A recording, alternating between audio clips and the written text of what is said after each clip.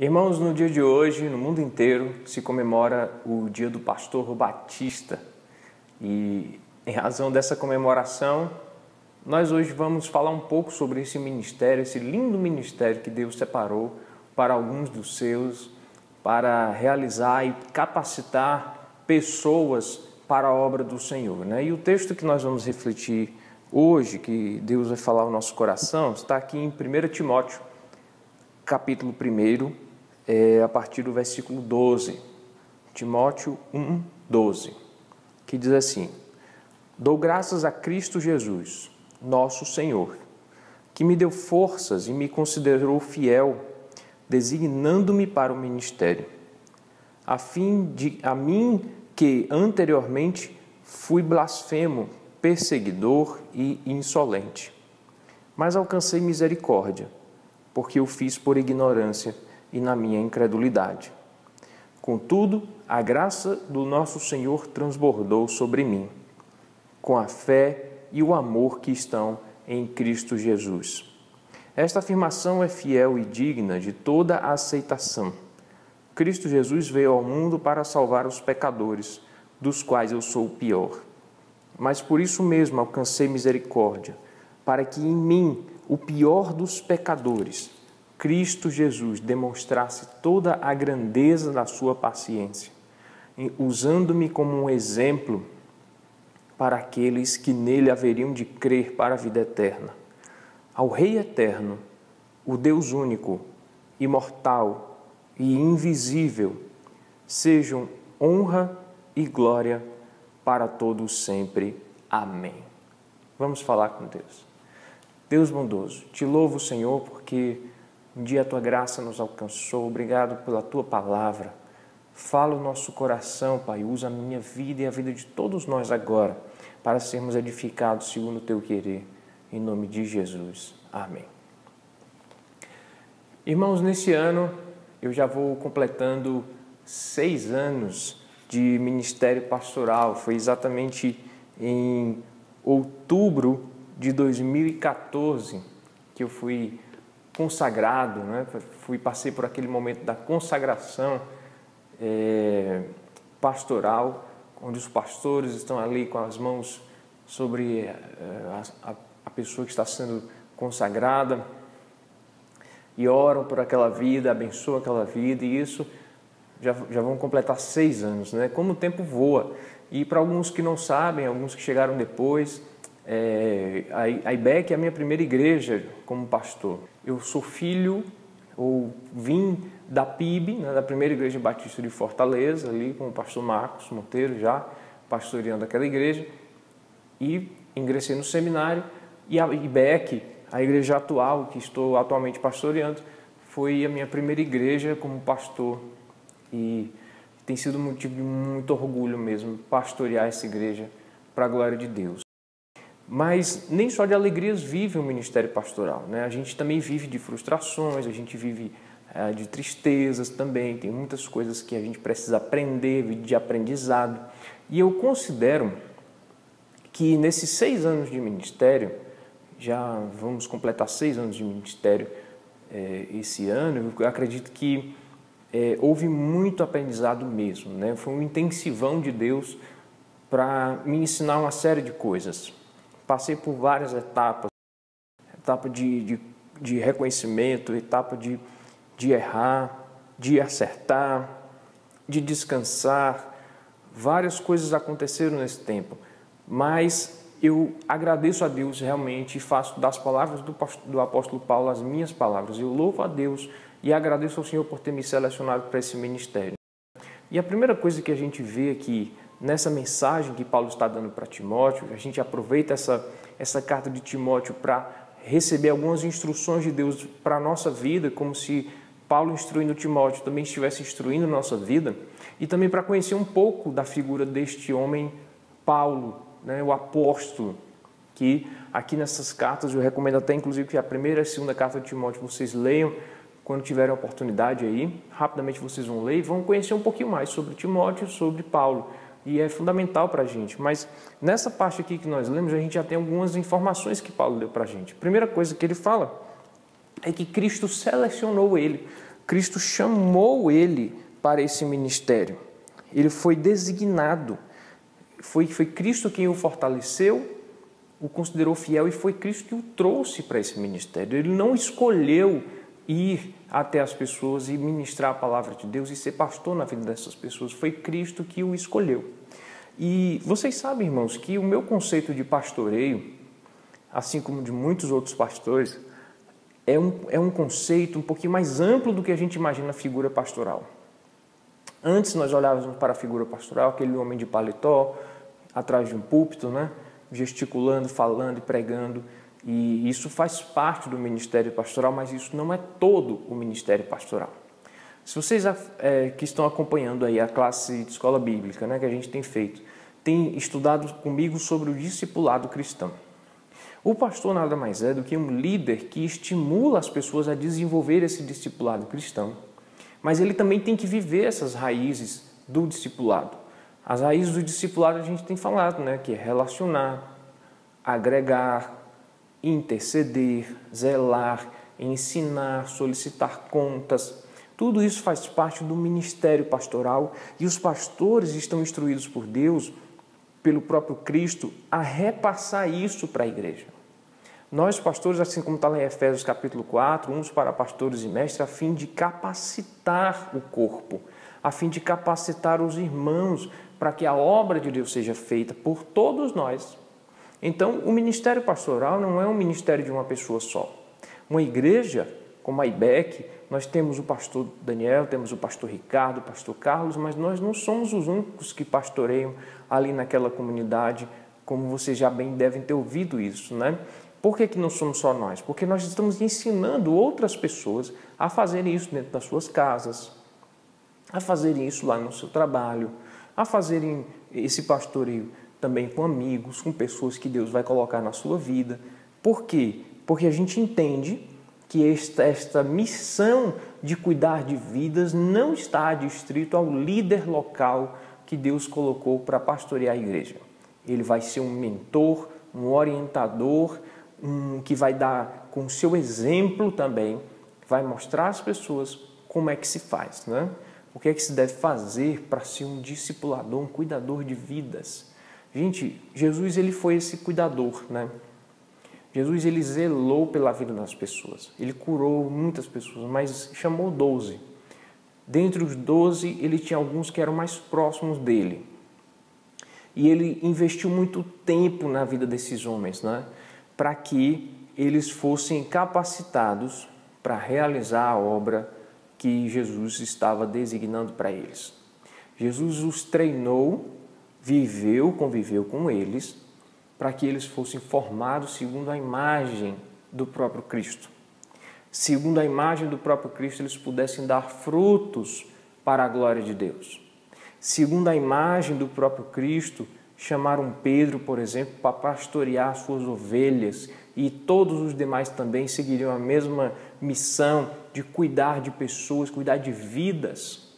As vidas que iam sendo tocadas por aqueles discípulos iam abençoando outras vidas, que iam abençoando outras vidas, até chegar aqui neste momento onde nós estamos, sendo abençoados porque houve uma cadeia de cuidado, um legado iniciado em Cristo pela ação do Espírito Santo na vida de primeiros homens lá no primórdio da, nos primórdios da igreja, chegando até nós, porque a graça do Senhor Deus esteve sobre Jesus Cristo, que se espalhou por todas as pessoas que tiveram contato com essa mensagem do Evangelho. Tendo o contato com a mensagem do Evangelho, nós somos constrangidos a fazer alguma coisa. Nós somos estimulados por Cristo, escolhidos por Cristo, para desempenhar a dispensação da mensagem, sermos os canais de bênçãos, canais que vão abençoar as vidas para a glória de Deus, e isso, gente, é a missão de todos nós. E neste lado, nesse aspecto que nos traz muito orgulho, muita alegria, gente, esse fardo é um fardo leve, como Jesus falou, né?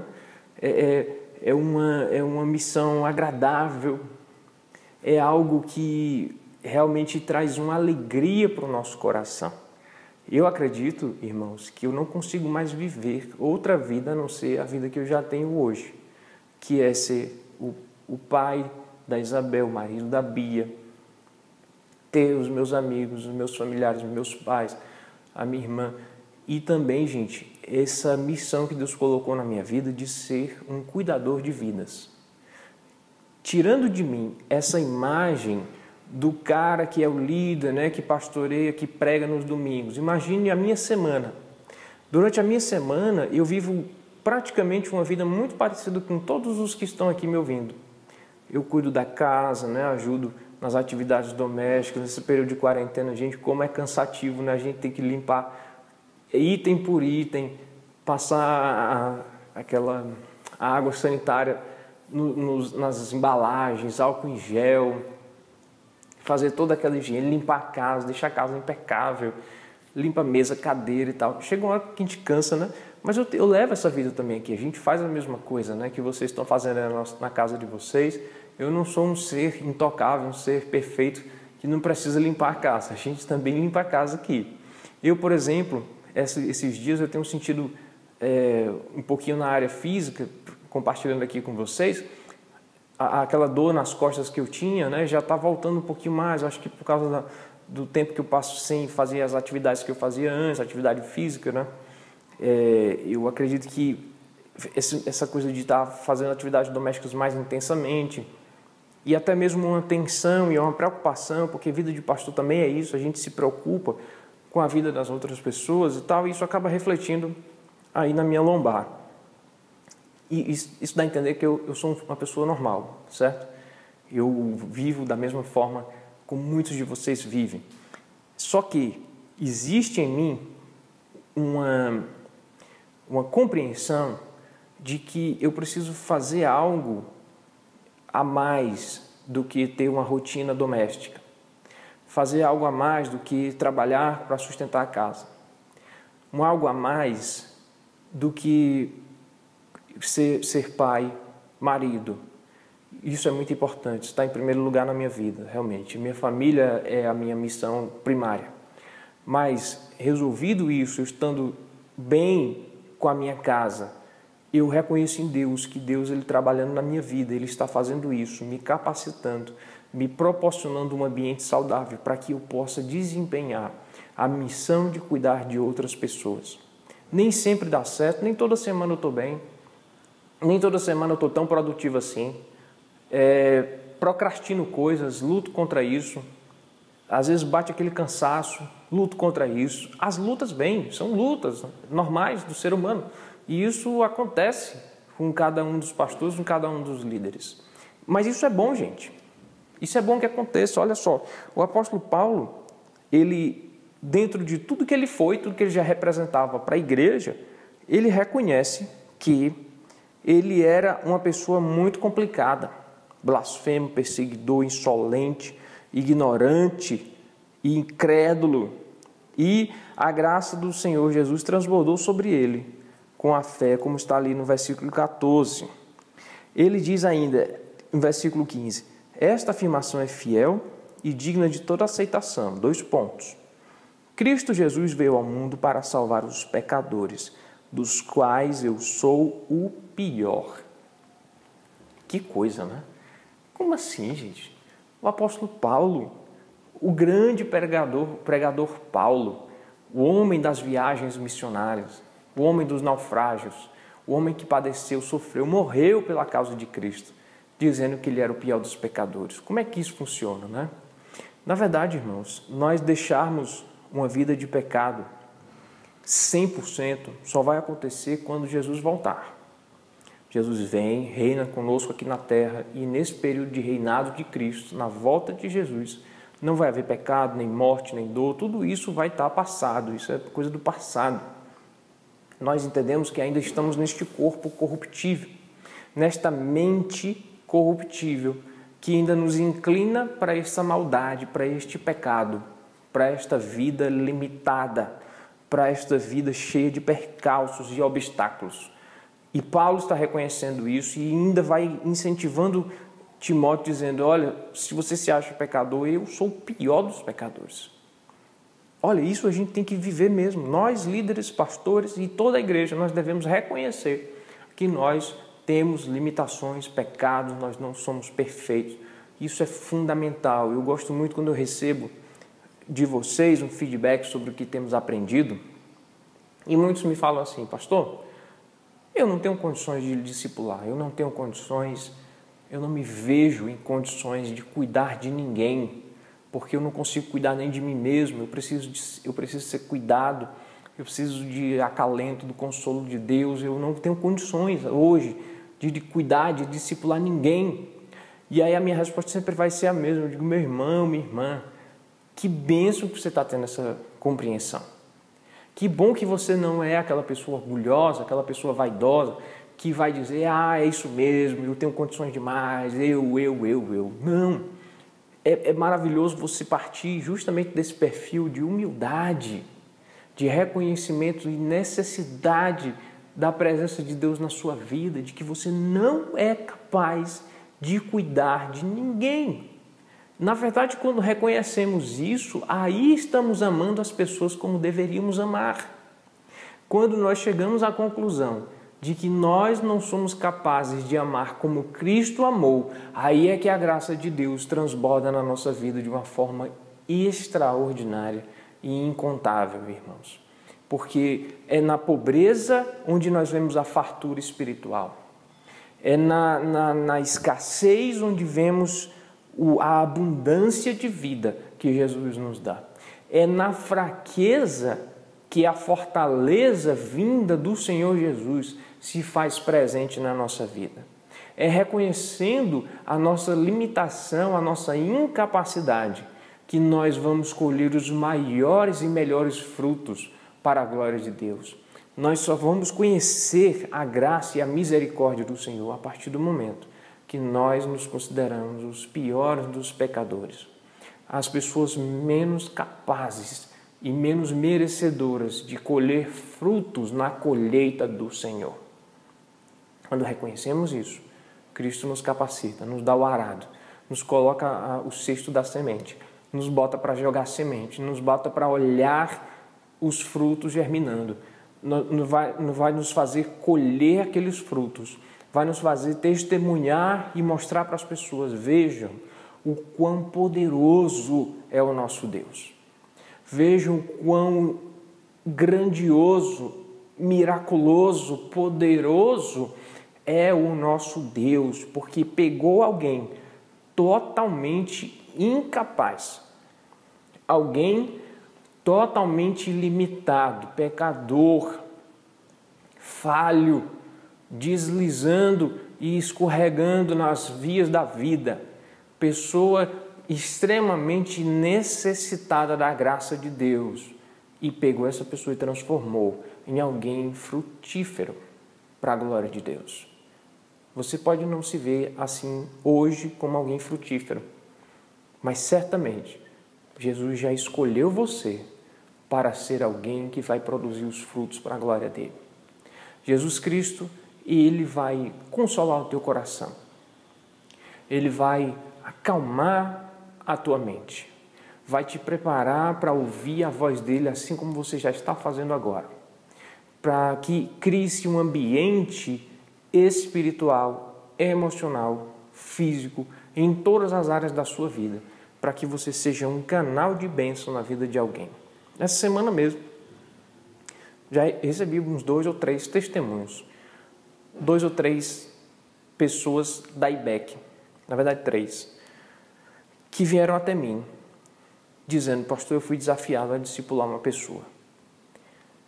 Irmãos, eu vou dizer para vocês, é, não existe, talvez, eu, eu posso aqui estar exagerando, mas para mim, até hoje, não existe uma sensação mais prazerosa do que você ver o, ver o fruto desse trabalho de Jesus onde você está inserido. Isso é maravilhoso. Para mim, na verdade, eu já tenho compartilhado isso com vocês, o que me sustenta na obra, o que me, vai me, sempre me, me alimentar e, re, e ser assim um motivador e uma alegria nessa missão de pastorear e liderar uma igreja, são os frutos. É batizar gente, é ver esses testemunhos, é ver o fruto dando fruto São esses irmãos e irmãs abençoando outras vidas já, já sendo desafiadas para cuidar de pessoas. E nestes casos que eu estou citando aqui, chegaram para mim, falaram isso e disseram: Mas, pastor, eu não tenho condições, eu não me vejo. Eu vou, eu vou iniciar um discipulado com essa pessoa, mas eu não me vejo capaz de realizar essa obra. E aí eu respondi: Meu irmão, você não sabe a alegria, minha irmã, a alegria que eu recebo essa informação de você chegar para mim dizendo que alguém alguém aceitou ser cuidado por você, mas que você reconhece que não é capaz de fazer isso. Sabe o que vai resultar nisso? Deus vai te capacitar, Deus vai te orientar no caminho que você deve seguir. Deus ele vai preencher e vai cuidar de você de uma forma como você nunca imaginou. Eu, eu costumo dizer isso, gente. Gente, Deus cuida de todas as pessoas, Deus consola todas as pessoas mas ele tem um apreço e um cuidado antecipado por aqueles que já estão realizando a obra que é do interesse dele. Mas é lógico isso, uma lógica espiritual. Não é que Deus tem preferências de cuidado ou consolo por, por cada um de nós. Não. É que, independentemente do que esteja acontecendo na sua vida, você vai sentir esse consolo, assim como Paulo está falando aqui para Timóteo. Né? Antecipadamente, Cristo já o consolou, já o, o acalmou, já o conscientizou de que ele é um Deus misericordioso, o Cristo misericordioso que vai consolar a vida de Paulo, para que ele possa ser essa bênção, não apenas na vida de Timóteo, mas na vida de muitas outras pessoas. Timóteo sendo ainda bênção na vida de muitas outras pessoas, como a gente vê aqui nesta orientação que Paulo é, dá para Timóteo. Ele diz que alcancei misericórdia, versículo 16 justamente pelo fato de ser pecador, para que em mim, o pior dos pecadores, Cristo Jesus demonstrasse toda a grandeza da sua paciência, usando-me como um exemplo para aqueles que nele haveriam de crer para a vida eterna. Ora, se a sua meta em discipular e cuidar de gente é fazer com que essa pessoa também dê fruto, é fazer com que essa pessoa também vá lá e discipule uma outra pessoa, desenvolva um RD com uma outra pessoa, que ore por outra pessoa, que se relacione com outra pessoa, que ensine a palavra para outra pessoa. Se você se faz como alguém santo, inculpável, perfeito, sabe, sem defeitos, como é que você vai convencer essa pessoa? Ou como é que você vai orientar essa pessoa de que ela deve fazer aquilo mesmo que você está fazendo? Se ela vai olhar para você e vai dizer: Não, você só faz isso porque você é perfeito, porque você é purificado, porque você é uma pessoa sem erro, sem nenhum pecado tal. Está entendendo a lógica do reino de Deus? Por que, que Deus usa os pecadores? Por que, que Deus usa os incapazes? Por que, que Deus usa pequenos para tornar coisas grandes? Porque é para que a glória seja de Deus e não nossa. É para que o poder de Deus se aperfeiçoe e seja demonstrado, e não o nosso poder, e não a nossa capacidade.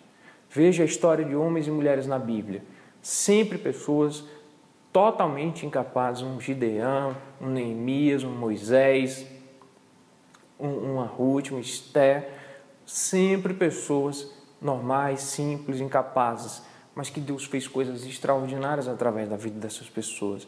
E vai ser a mesma coisa através da sua vida, meu irmão e minha irmã. Assim como Deus fez com Paulo, o tirou de uma vida de perseguição e o tornou um dos maiores pregadores da palavra de Deus. Assim como fez com a vida de Timóteo, que pegou uma pessoa simples, humilde, e transformou também numa grande referência da igreja na Ásia. Deus também vai usar você já está usando a sua vida para fazer coisas extraordinárias através da sua vida. Não seria um pastor ou um bom líder se eu não estimulasse você a fazer isso. Saia mesmo da situação, se você estiver nessa situação de apenas querer receber de Deus todos os domingos, indo para a igreja para receber algo de Deus. Não. Receba de Deus, mas aquilo que você recebe de graça de Deus, você também repassa de graça para outras pessoas. Dê um passo seguinte na sua vida espiritual. Saia desta, mor, dessa coisa morgada, dessa coisa parada. de apenas ser aquela pessoa que vai receber de Deus e passe a contribuir para o reino de Deus também. Como é que eu posso fazer isso, pastor? Primeiro, se capacite.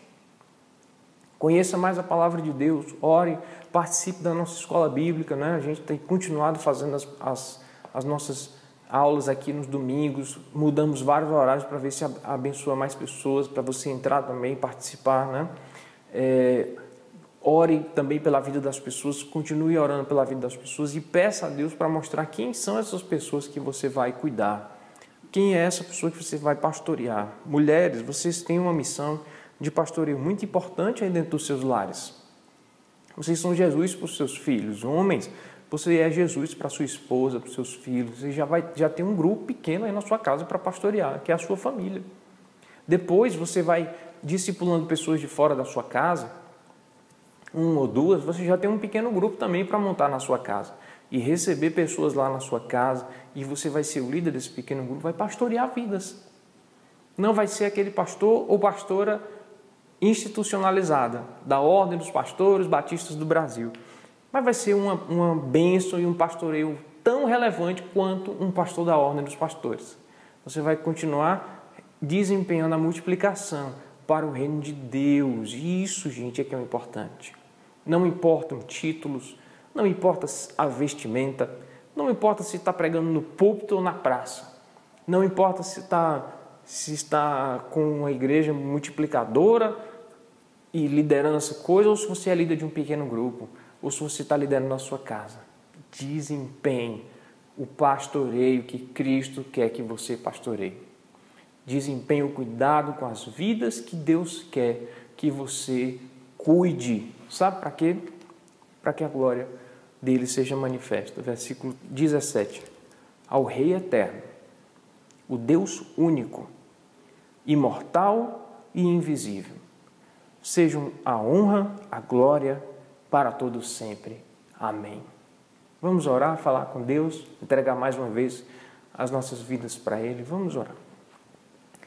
Deus bondoso, te louvo, Senhor, porque a tua palavra, Deus, ela é perfeita. Ela fala tão profundamente ao nosso coração, Senhor. Obrigado pelo exemplo que temos aqui do apóstolo Paulo, desempenhando aí um cuidado, um zelo com o seu discípulo Timóteo. Obrigado, Senhor, porque compreendemos que um grande homem de Deus, também falho, pecador, Deus deu frutos maravilhosos para o teu reino, assim também podemos fazer. Que essa missão e esse ministério pastoral que tem, tem sido desempenhado na IBEC seja um pastoreio coletivo, mútuo, um pastoreio que contamina cada um de nós, Deus, de uma forma positiva, para que sejamos uma célula viva do teu corpo Queremos ver nesse futuro maravilhoso que tu tens para a nossa igreja, na pandemia, fora da pandemia, não interessa a situação externa. Nós queremos desempenhar, Deus, este cuidado e zelo pelas vidas uns dos outros, assim como o teu filho Jesus deseja, Pai, de cada um de nós. Usa-nos sempre, Pai, nos capacita, consola o nosso coração, aquieta a nossa alma, nos proporciona um ambiente seguro, um ambiente agradável para aprendermos mais de Ti nos proporciona, Deus, um estímulo cada vez mais poderoso do Teu Espírito, para que sejamos atentos às oportunidades que Tu tens nos dado. Abençoa a liderança, os pastores e a diretoria da igreja. Abençoa essa visão, Deus, que temos tido de multiplicação, de cuidado mútuo, de pastoreio.